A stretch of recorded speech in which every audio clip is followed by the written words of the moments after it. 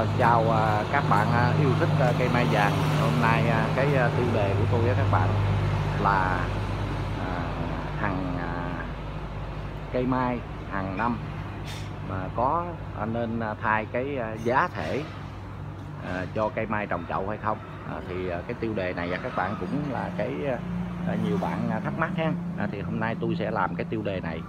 Thì trước hết á thì tôi À, sẽ trình bày cái à, cái giá thể cái công dụng của cái giá thể cho cây mai như thế nào. À, thì các bạn nhớ à, cây mai này không các bạn? À, cây mai này là tôi suốt cái ngày mùng 10 tháng 6 âm lịch vừa rồi á các bạn. Đây à, tôi quay là cái gốc ha. À, các bạn nhớ nha ha. À, thì bữa nay cái lá nó ra rồi các bạn. À, lá ra rồi. Và cái à, cái cái cái nụ kim nó cũng có nè các bạn. Ở sao lạ đi chứ? À, thì à, Tết nay có bông nha các bạn. À, vẫn có bông ha. À, 50 phần trăm. Rồi đây nè tôi cho các bạn xem. Đây. bạn thấy không? Đây là nó ờ, mùng 10 tháng 6 thì bữa nay nó đã có đủ kim rồi các bạn. À, rồi thôi bây giờ vô chủ đề tránh là gì? Cái à, giá hàng năm à, có nên à, thay à, cái giá thể à, của cây mai trồng chậu hay không? Đây là cái giá thể là cái này nha các bạn. Ở à, đây cái này là giá thể tôi gọi là cái bui trộn á các bạn. Thì bây giờ tôi nói với các bạn vậy.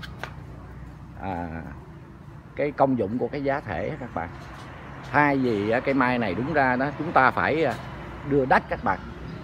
Nhưng mà lý do là tại sao mình đưa cái đất vô cái cái chậu như thế này tức là à, trong khoảng thời gian à, mình à, tưới một khoảng thời gian thì cái đất nó sẽ vẽ lại khi mà đất nó dẻ lại thì nó đóng thành cái khối cứng thành ra cây mai nó không phát triển được.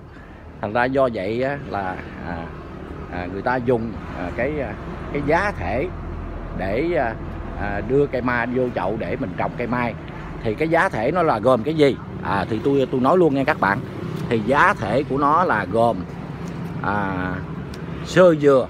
À, sơ dừa là chủ lực nha các bạn. Vỏ trấu à, và ở tây ninh tôi thì người ta có đưa một cái số vỏ đậu phộng đó các bạn. À đây. Cái vỏ đậu phộng là cái này. À, để cho nó xốp thì như vậy là cái gì? Cái giá thể này nó không có là đưa một cái dinh dưỡng gì cho cái cây mai cả mà nó là cái chất độn để cho cây mai phát triển mà thôi. Và cây mai nó phát triển hay không là do mình đưa à, phân hàng năm à, vô à, đúng theo cái liều lượng thì cây mai nó phát triển à, à, bình thường các bạn ha. Thì như vậy theo tôi theo tôi cá nhân tôi thì cái hàng năm tức là không cần thiết phải à, thay cái cái cái bui trộn à, ở trong chậu cho cây mai. À, không cần các bạn không cần thiết đâu. Nó chỉ là giữ cái cho thoát nước ha và à, tạo cái độ ẩm. Để khi mình đưa phân thì cây mai nó phát triển thôi.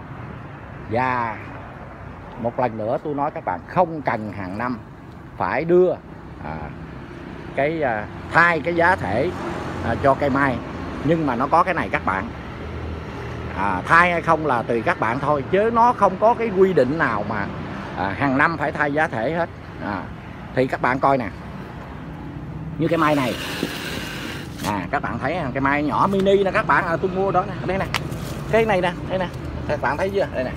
Đây nè mình dở lên cũng vẫn được luôn. À thì như vậy thì cái giá thể đâu cần thay các bạn. Nhưng mà có vậy có thể thay là vậy. Do cây mai ha, mình trồng tức là khoảng 3 năm 4 năm thì cái à, cái cái cái bộ rễ á các bạn. Cái bộ rễ này ha. Cái bộ rễ này à, nó phát triển tức là dày đặc cái cái mặt chậu này.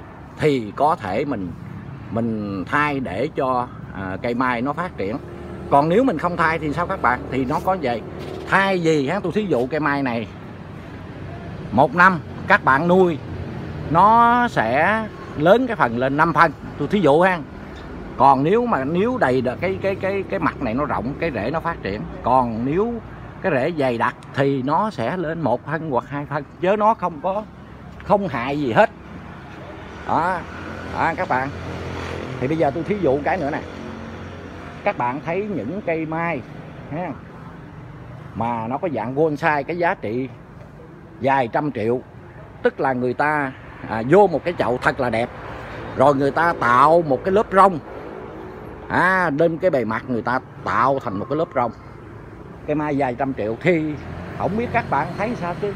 Tôi thấy hầu như là người ta không có thai luôn các bạn. À, ta xài năm bảy năm 10 năm người ta không thai đó. Thì như vậy thì mình nói là cái gì? Thai hay không? Ha là do mình mà thôi chứ không có một cái cái cái, cái quy định nào nhất định là hàng năm phải thai hết. Rồi cái chủ đề là như vậy. Rồi tôi nói thêm như thế này. Thí dụ ha mình có thai chậu đi nữa thì cái thời gian nào thay là thích hợp nhất? Cái quan trọng là cái chỗ này. Nhưng mà tôi nói là những các bạn nuôi mai nhà thường gặp ha, là tháng giêng sau khi là à, à, sử dụng cây mai vào cái dịp tết xong thì các bạn lại à, đưa đại thai chậu. Tức không à, xin xin lỗi thay giá thể của chậu nha à, chứ thay chậu thì dễ rồi ha thay chậu thì thí dụ cái nhỏ à, cái cái chậu nhỏ vậy. À, như vậy. À, thì mình nâng chậu lớn thì mình đưa bộ rễ lên gọi là thai. Thì đó là là bình thường. Còn này là thai giá thể trong chậu. Thì các bạn lại sử dụng vào cái ngày thường là cái tháng giêng. À, tôi thấy cái trường hợp đó không phù hợp nha các bạn. Là tại sao? Để tôi nói với các bạn ha coi các bạn có đồng tình không? Sau khi mình à, à làm cái bông tết xong thì cây mai nó đã dắt. Hầu như nó muốn kiệt sức rồi. Và những các bạn nuôi mai nhà nội, cái phục hồi thôi. Phục hồi cây mai thôi là các bạn đã đã đã đã đã hơi khó khăn rồi. Cộng thêm các bạn thay chậu một lần nữa. Nha nếu các bạn thay chậu một lần nữa thì sao các bạn? Các bạn thay chậu thì sao? À, thì vô tình các bạn lại tác động vào cho những cây mai. Nếu cây mai cái đề kháng mạnh thì nó trở thành cây mai yếu. Và cây mai yếu thì nó trở thành cây mai bệnh. Như vậy thì à, cái thời điểm nào là mình thích hợp nhất? Thì các bạn suy nghĩ nha.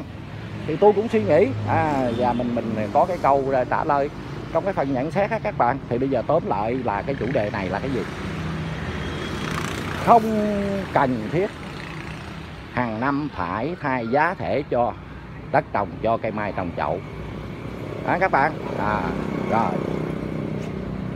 Nhưng cái quan trọng là thời điểm nào để mình thay giá thể cây mai là thích hợp nhất là cái thứ nhất. Và cái thứ hai là tôi muốn nói với các bạn như vậy.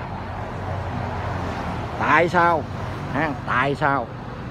Vào tháng giêng tháng 2 lại người ta bứng những cái mai từ đất à, để người ta vô chậu.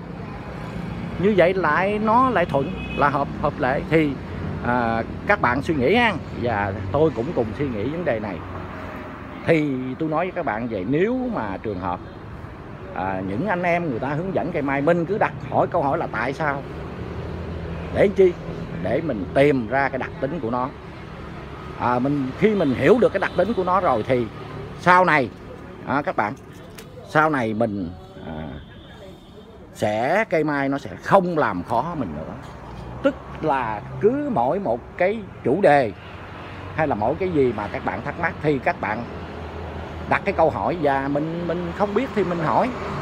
À, khi mình hỏi là và mình xem thử coi cái vấn đề đó như thế nào. Thì một thời gian thôi thì các bạn sẽ nắm đặc tính của cây mai. Và cây mai đó từ từ à, các bạn sẽ nắm được thì nó không làm khó mình. Thì mình nuôi cây mai dễ dàng chứ gì hết các bạn. À, cái chủ đề hôm nay là vậy ha các bạn. À, nếu mà à, các bạn đồng tình à, thì à, nhớ đăng ký và liên à, cho mình ha các bạn. Thôi à, buổi sáng à, à, chúc các bạn à, nhiều sức khỏe ha. Và à, hẹn gặp lại ở clip sau. À, xin à, chào bạn và hẹn gặp lại ha.